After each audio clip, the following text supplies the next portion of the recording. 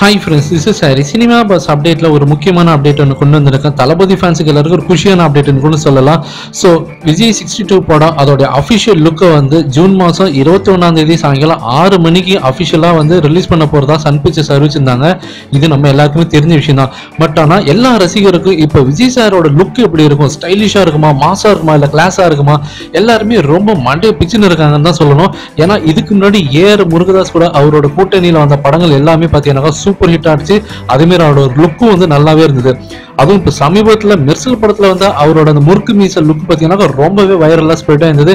எல்லாராலையும் எல்லாமே பாராட்டப்பட்ட ஒரு விஷயம் அது. ஸோ இந்த படத்தில் எப்படி இருக்க போகுது என்ன மாரி மாசா கொண்டு வர போகிறாங்க சொல்லிட்டு எல்லா ரசிகரும் ரொம்ப ஆர்வமா இருக்காங்க. ஸோ நமக்கு கிடைச்ச லேட்டஸ்டான தகவல் படி பார்த்தீங்கன்னாக்கா இந்த படத்திலையும் விஜய் சாருக்கு வந்து ரொம்பவே ஒரு மாசான லுக் தான் கொடுத்துருக்காங்க.